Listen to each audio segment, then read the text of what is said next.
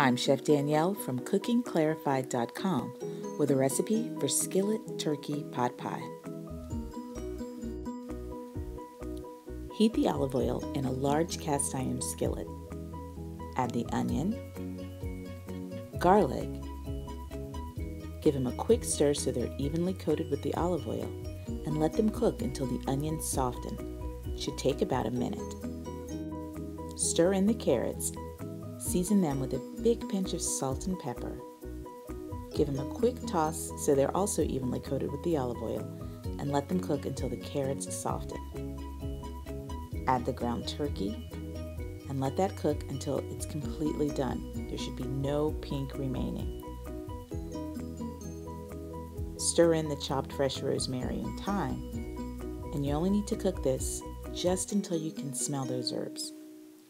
Sprinkle the flour over the turkey and vegetables.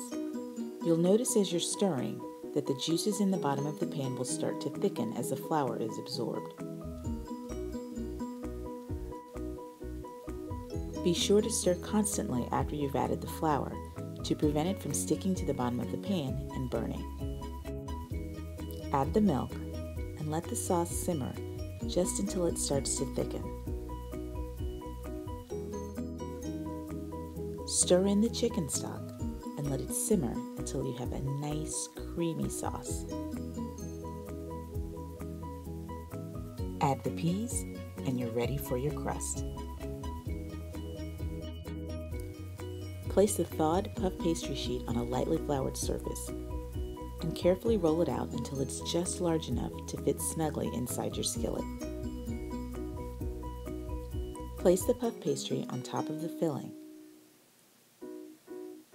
and use your fingers to gently tuck it into place.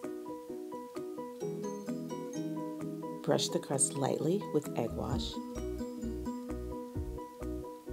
and sprinkle it with a little of the chopped fresh rosemary and thyme. Bake the pot pie until the filling is bubbly and the crust is beautiful golden brown. You can find the complete recipe for skillet turkey pot pie at cookingclarified.com.